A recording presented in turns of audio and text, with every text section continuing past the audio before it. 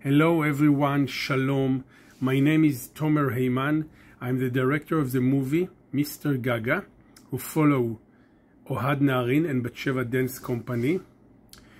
I'm very happy to be part of a very special online screening together with the Temple Israel Greenfield. May 9, 9 of May, it's Sunday, and I will be there with an open dialogue and hopefully to answer many kind of questions with all of you. So see you soon.